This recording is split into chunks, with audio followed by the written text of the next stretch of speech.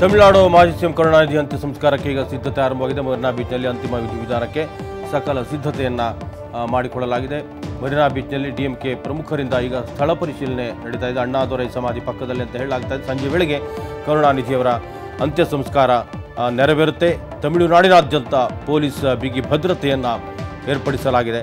ಇದು ಡಿಎಂಕೆ ಕಾರ್ಯಕರ್ತರಿಗೆ ತುಂಬಾ ನಿಟ್ಟುಸಿರು ತಂದಂಥ ವಿಚಾರ.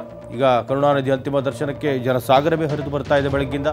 ನೆಚ್ಚಿನ ನಾಯಕನನ್ನು ನೆನೆದು ಅಭಿಮಾನಿಗಳು ಕಣ್ಣೀರಿಡುತ್ತಾ ಇದ್ದಾರೆ. ರಾಜಾಜಿ ಹಾಲ್ ಬಳಿ ಭಾರೀ ಪ್ರಮಾಣದಲ್ಲಿ ಪೊಲೀಸ್ ಬಿಗಿ ಭದ್ರತೆಯನ್ನು ಒದಗಿಸಲಾಗಿದೆ. ಯಾಕೆಂದರೆ ಇಲ್ಲಿಂದ ಮರೀನಾ ಬೀಚ್ಗೆ ತೆಗೆದುಕೊಂಡು ಹೋಗಬೇಕು ಅಂತಂದರೆ ಸಾಕಷ್ಟು ಭದ್ರತೆ ಮಾಡ್ಕೋಬೇಕಾಗತ್ತೆ. ಅಭಿಮಾನಿಗಳ ಒಂದು ಆ ಭಾವನೆಯ ಕಟ್ಟೆ ಒಡೆದ್ರೆ ಏನಾದರೂ ಹೆಚ್ಚು ಕಮ್ಮಿ ಆದರೂ ಅಚ್ಚರಿಲ್ಲ. ಈ ಹಿನ್ನೆಲೆಯಲ್ಲಿ ಪೊಲೀಸರು ಬಿಗಿ ಭದ್ರತೆಯನ್ನು ಕಲ್ಪಿಸಿದ್ದಾರೆ. ಆದರೆ ಕಳೆದ ಬಾರಿ ಜಯಲಲಿತಾ ನಿಧನ ಹೊಂದಿದಾಗ ಭಾಳ ಅಚ್ಚುಕಟ್ಟಾದ ಒಂದು ಸಿದ್ಧತೆಯನ್ನು ಮಾಡಿದರು. ಎಲ್ಲೂ ಕೂಡ ಗೊಂದಲ ಇರಲಿಲ್ಲ. ಕಾನೂನು ಸುವ್ಯವಸ್ಥೆಯಲ್ಲಿ ಏನೂ ಲೋಪ ಆಗಿರಲಿಲ್ಲ. ಭಾಳ ಸುಲಲಿತವಾಗಿ ಅಂತ್ಯ ಸಂಸ್ಕಾರ ನೆರವೇರಿತ್ತು.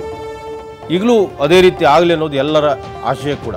ಸಂಜೆ ಬೆಳಗ್ಗೆ ಕರುಣಾನಿಧಿಯವರ ಅಂತ್ಯ ಸಂಸ್ಕಾರ ನೆರವೇರುತ್ತೆ ತಮಿಳುನಾಡಿನಾದ್ಯಂತ ಅದರಲ್ಲೂ ಪ್ರಮುಖವಾಗಿ ಚೆನ್ನೈ ನಗರದಲ್ಲಿ ಹೆಚ್ಚಿನ ಪೊಲೀಸ್ ಭದ್ರತೆಯನ್ನು ಒದಗಿಸಲಾಗಿದೆ.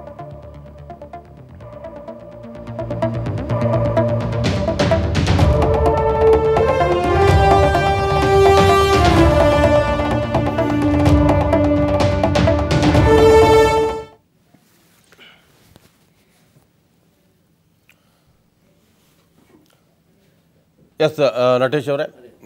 ನಮಗಿರೋದು ಒಂದು ಆ, ಏನಂದರೆ ಹಾರೈಕೆ ಅಂತಂದರೆ ಎಲ್ಲ ಅಚ್ಚುಕಟ್ಟಾಗಿ ಆಗಲಿ ಅಂತ. ಯಾವುದು ಗೊಂದಲ ಆಗಬಾರ್ದು. ಯಾಕಂದರೆ ಜಯಲಲಿತಾ ಅವರು ಇದರೊಳಗೆ ಭಾಳ ಚೆನ್ನಾಗಿ ಮಾಡಿದರು. ಯಾವುದು ಏನೇನು ಆಗ್ಬಿಡುತ್ತೋ ಅಂತೆಲ್ಲ ತಲೆಯಲ್ಲಿತ್ತು